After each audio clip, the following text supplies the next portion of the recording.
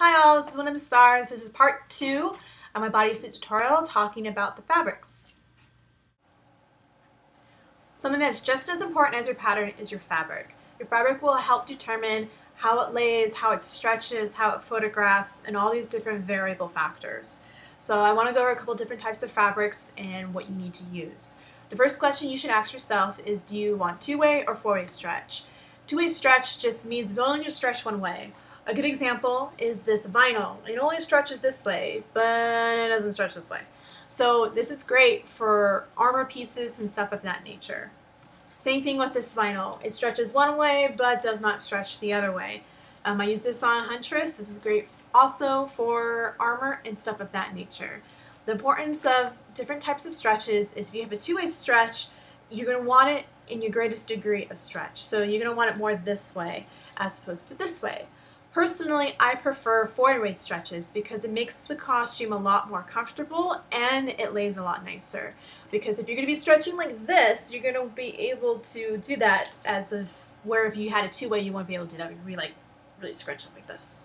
So the patterns I showed you do allow for two-way stretch material with the greatest degree of stretch going this way, but I use four-way stretches just because it's a lot more comfortable and it's easier to do and just it's just nicer overall.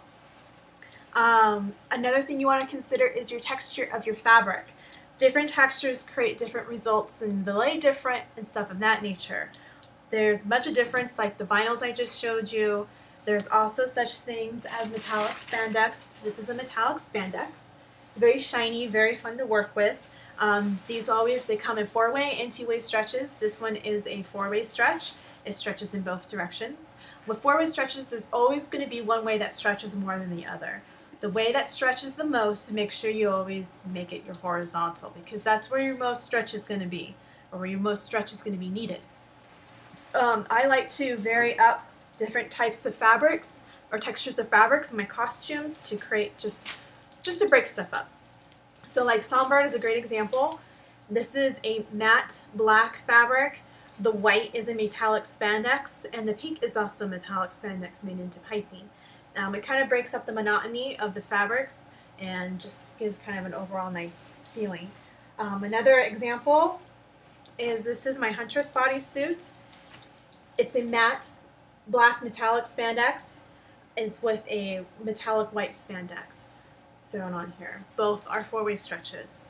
So, and another thing you need to consider about fabric is your weight of your fabric. Ideally, your weight needs to be between 6 ounces to 8 ounces. Now, what I mean about weight, I mean the thickness of your fabric. The thicker the fabric, the better it's going to hold the shape of your bodysuit, and the better it holds you in and kind of gives you support.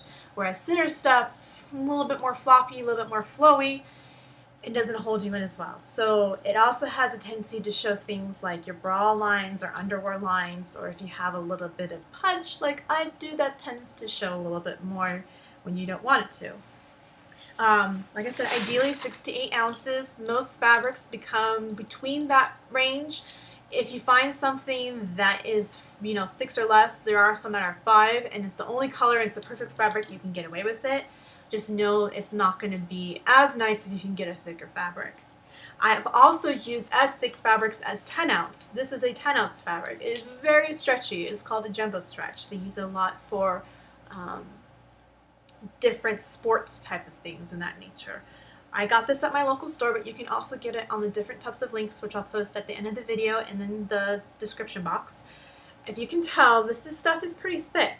It's also shiny on one side, so Bear in mind that this will give you the satin effect. And what I mean by the satin effect is that when you get flash photographed, you're just going to be a shiny person, and that is never attractive. So try to stay away from the shiny fabrics. Metallic spandex is different because it gives a different type of sheen. It's metallic um, as opposed to this stuff. Um, I've used this in the Sailor Fukus. It works really well because white is always really see-through, and with the Sailor Fukus, you don't want to have that see-throughness, so that's why I've used this, and it also helps hold everything together nicely. One other comment I want to make about different types of textures of fabrics with the shiny rule is for most female bodysuits that are black, you'll see them really glossy or shiny, so they suggest it either being a metallic or a PVC or something of that nature. For a lot of my suits, I've always used black metallic spandex. The reason I use that is because it's a lot more breathable than the PVC. It gives a shiny effect and it's a lot more stretchy than a PVC. PVC is great and it works well for different things. Like I've used it in my Yoko shirts, Yoko shorts, and other stuff like that. But it also tends to stick to itself and it rips off, rips off the finishing. So that's another thing you need to take in consideration when choosing what type of fabrics you want. Thanks for watching. This concludes the second half of my bodysuit tutorial, the fabric. If you want to find out more about the different types of patterns, go click Bodysuits Part 1. If you want to learn more about your construction techniques and how to do appliques, go ahead and look at the next videos. Of course, if you like this video, please like and subscribe. Thanks!